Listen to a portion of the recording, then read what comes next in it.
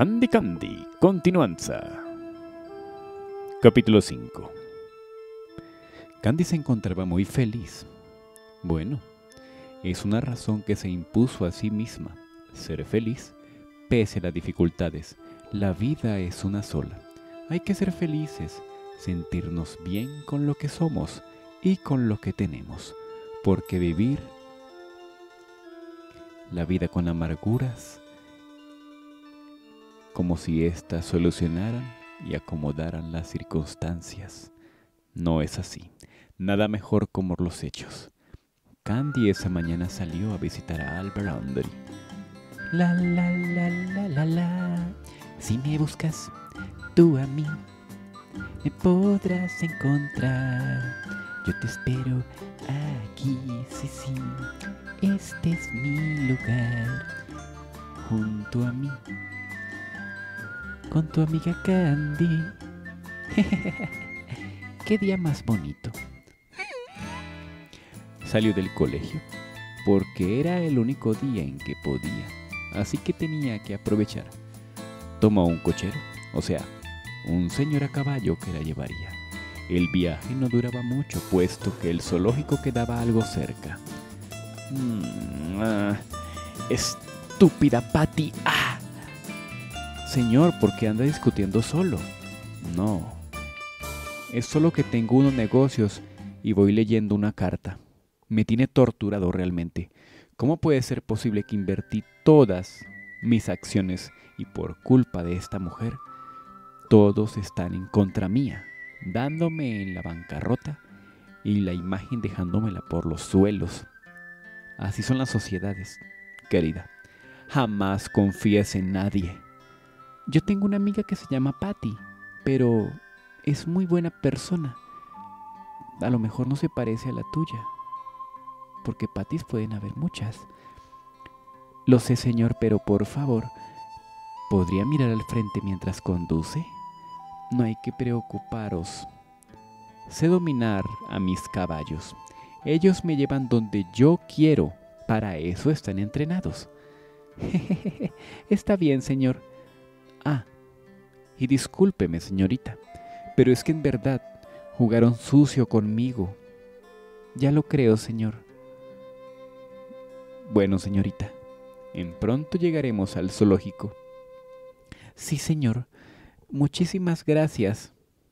Además, yo también tuve una amiga que se llamaba Patty y era de lo peor. Sí, pues casualidades de la vida, ¿no? Pues así es. Ya vamos a llegar, señor. Candy miraba a los alrededores muy pensativa. No podía creer que Terry y Anthony se hubieran peleado.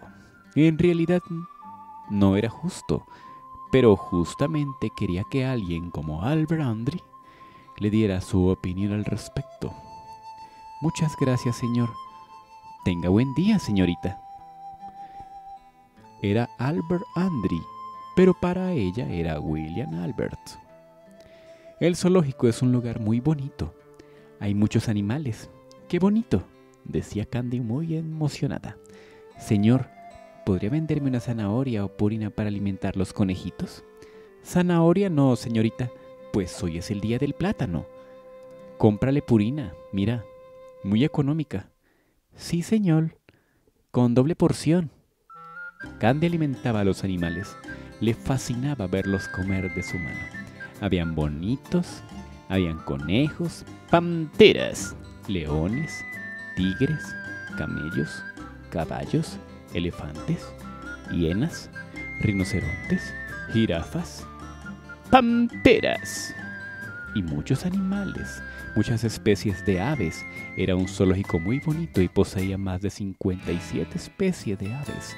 También disponía un enorme acuario donde había nutrias y peces de todos los estilos.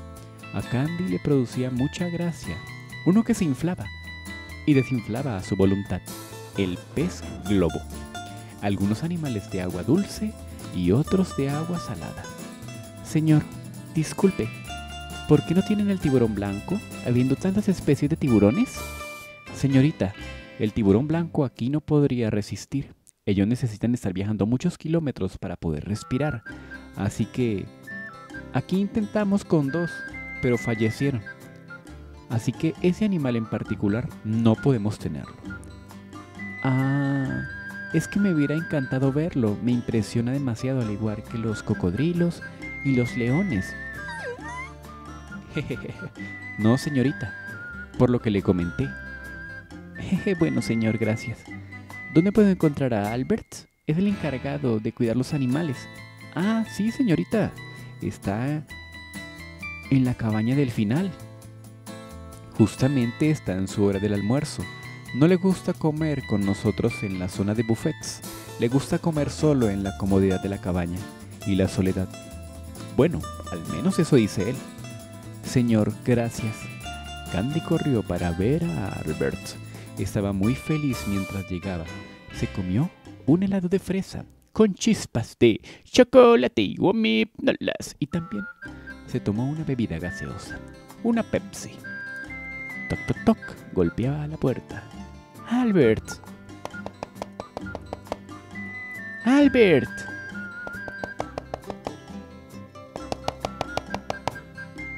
Albert, soy yo, Candy. Hola, pequeña. Pasa. Bienvenida. Justo estoy en mi hora de comida, pero no te preocupes. Puedo invitarte a comer. No, Albert, no te preocupes. bueno, mejor porque así puedo comer más. Tengo muchísima hambre. Hoy tuve que ayudar a un león que se había espinado y tuve que sacar con pinzas de su pata derecha. Bueno, debo decir que ese animal estaba dormido. Uno de los compañeros del zoológico lo durmió con un dardo. A veces me asusta que esos animales lleguen a despertar.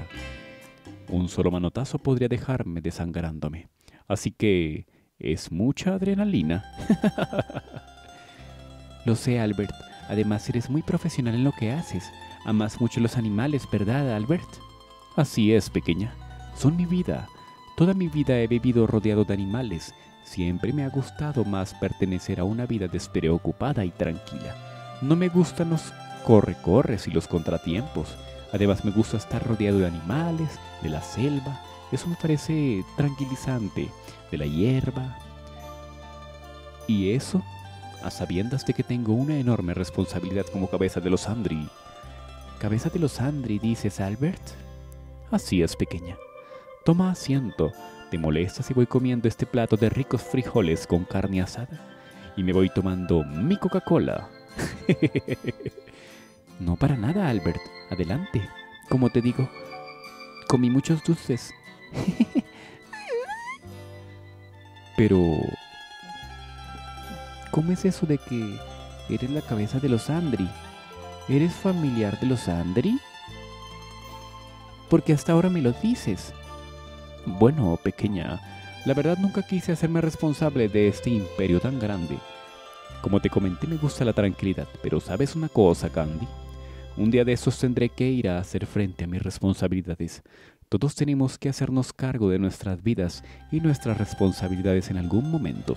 Solo que Quiero cerrar algunos ciclos de mi vida para luego continuar. Candy no salía de su asombro.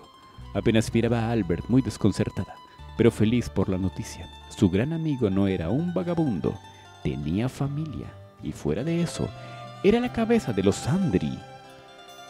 Candy. Sí, dime, Albert. Yo soy tu padre adoptivo. Te lo digo aquí mismo y sin anestesia. ¿Qué?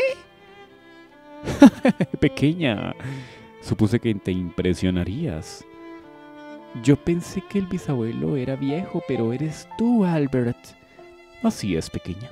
Soy yo de carne y hueso. Pero... Pero...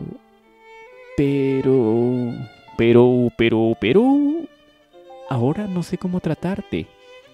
Con el debido respeto que te mereces. Ay, Albert. Señor Albert. No, no, no, no, no, no, no, no, no. Nada de formalidades, pequeña. Llámame Albert, como siempre, para los señores de la Junta. ¿Y discusiones políticas? Así como abogados y todo el elenco de representantes de los Andri, ellos deben de decirme señor William o señor Albert. Pero me quedo más con el señor Williams. Más sin embargo, George, siempre termina haciendo todo por mí. Sí, Candy, soy tu padre adoptivo. Y no solo eso, soy el príncipe de la colina. ¿Qué? Pequeña, pequeña, pequeña. Candy se desmayó, por lo que Albert le había confesado.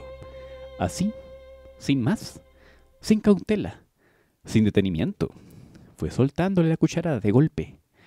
¡Ay, pequeña! Pensé que estabas aceptando todo lo que tengo que decirte, sin tanta retaliación y sin tanto escándalo, pero veo que te afectó demasiado lo que te dije. ¿Y ahora qué hago? Candy, despierta, despierta, Candy.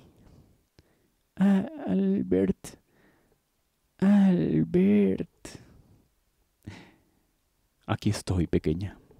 Puedes contar conmigo para lo que necesites. No te sientas sola y no te asustes. Candy abrazó a Albert con todas sus fuerzas. Albert, muchísimas gracias por todas las cosas lindas que has hecho por mí.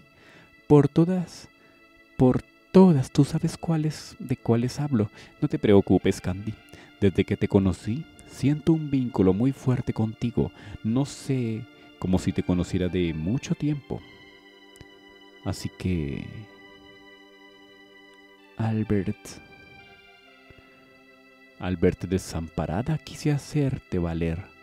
Candice, escúchame bien lo que te voy a decir. Y esto va para todas. Vales mucho, ¿entendiste? Ustedes valen mucho. Albert, y justo que quería tus consejos, y me cuentas que eres mi príncipe.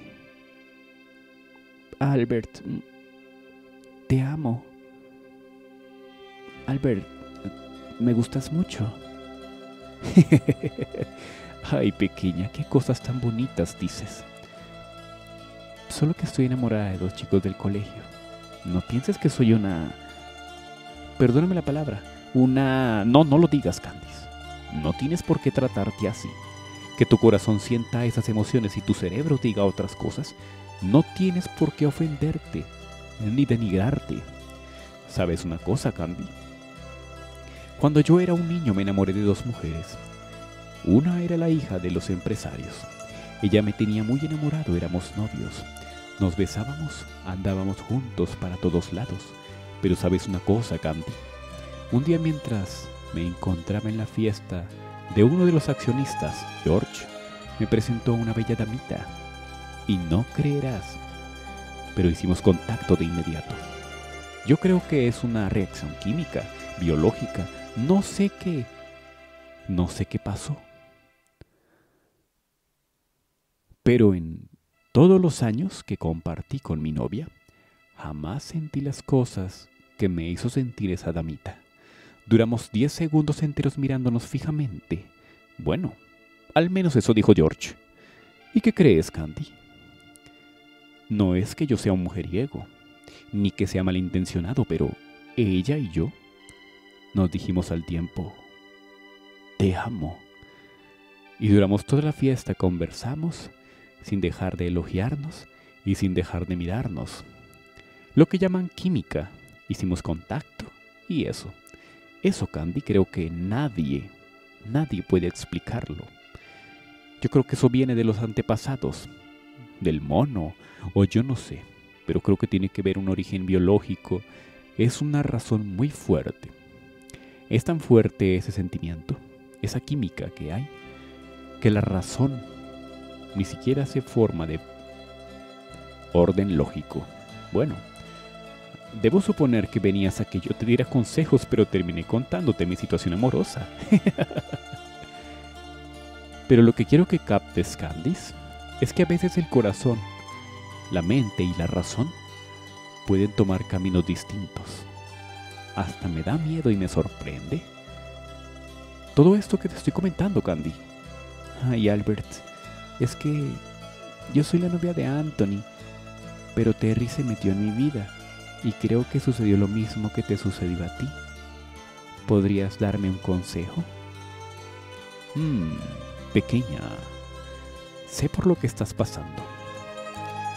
Mira, últimamente el amor es ¿Qué le dirá William Alberandri a Candy como consejos?